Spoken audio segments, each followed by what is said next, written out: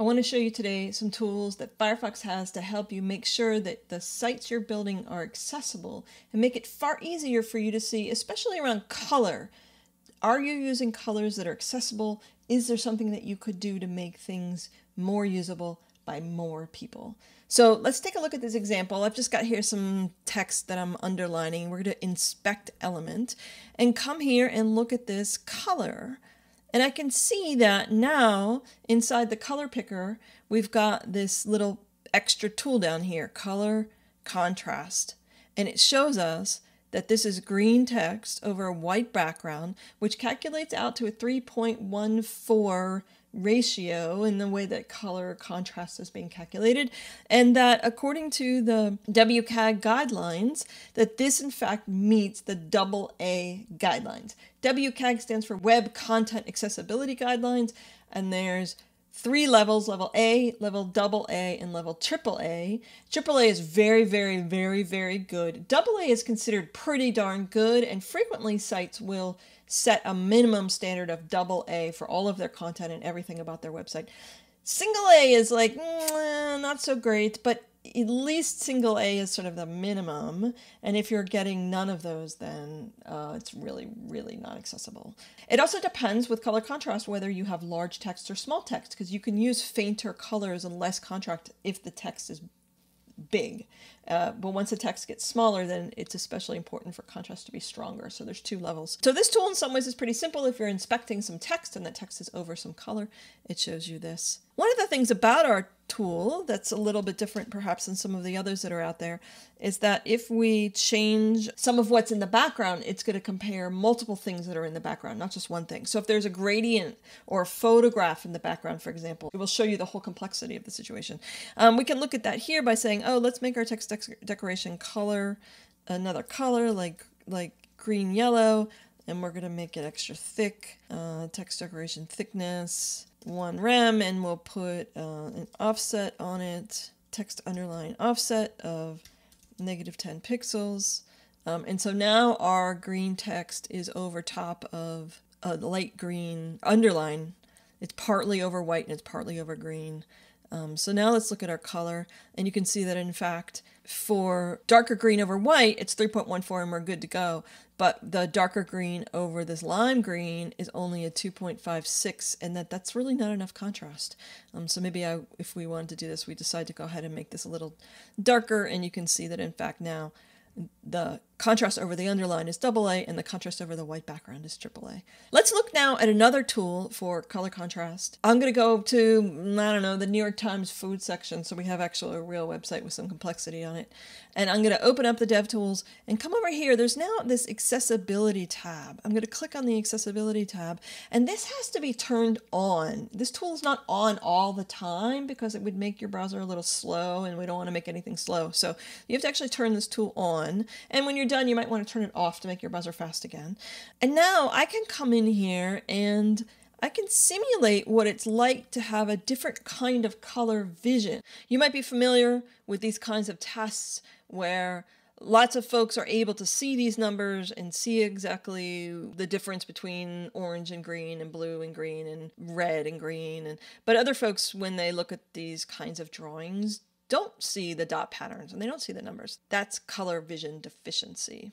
And I can see here what that's like. It can simulate this. I can switch from um, these different kinds, low blue, low green, no red, and you can just sort of see, is this working, is this not working? Over for this example, I could see that if we switch to someone who has kind of no red, low red, that in fact this green color completely disappears in this line of text. And in fact, that's why we're going to want to have an actual underline and not just rely on color in order to see this link. Otherwise, folks who have low red, no red vision are not going to be able to see this link. We need two ways to show people in many, many situations. One of the accessibility guidelines is to make sure that you have you're not relying on color alone to mark something, but you have some sort of an arrow or you have an underline or you have some other kind of indication that something is something for this reason exactly. But this new simulation tool gives you a chance to kind of see like, okay, well, what's this look like? Well, here, you know, New York Times is doing pretty good. The, the photos look quite different, in fact, but um,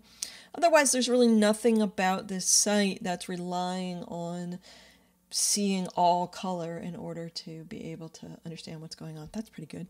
We can come over here to where it says check for issues, and I'm going to test for contrast issues.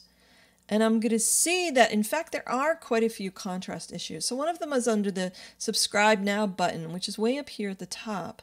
And I can see that white over this darker teal color doesn't actually meet WCAG standards for accessible text. Now, I think that this is correct, although looking at it with that bold font with my eyeballs, I'm a little bit like, well, is really that doesn't make enough, that's not enough contrast. So maybe um, if I were on this team, I would double check. I'm like, maybe this tool, this tool's new, it's still a little bit alpha-y, buggy, or whatever, like maybe the tool's wrong. But uh, it gives you a chance to check, to look and see maybe this is something that could use some more attention. Or here, this is something, and look, once the accessibility tool is on, inspect accessibility properties appears on this context menu. Um, I can see here that, in fact, this is getting flagged that this text, especially at this little tiny size, this gray color is only 2.85 to 1 and that this does not meet the WCAG standards. We can come back over here to the inspector and also look at this text um, find the color swatch for this text and click on it and see here that, yeah, in fact, it's just not dark enough. There's not enough contrast. So we could darken it up. We can come here and mess around and find exactly the color that's going to work, just the right darkness, so that the level of darkness, maybe we throw in a little bit of a blue tone or something to make it work visually look beautiful. One thing I do want to show you about this accessibility tool is that this part may not appear for you on your computer.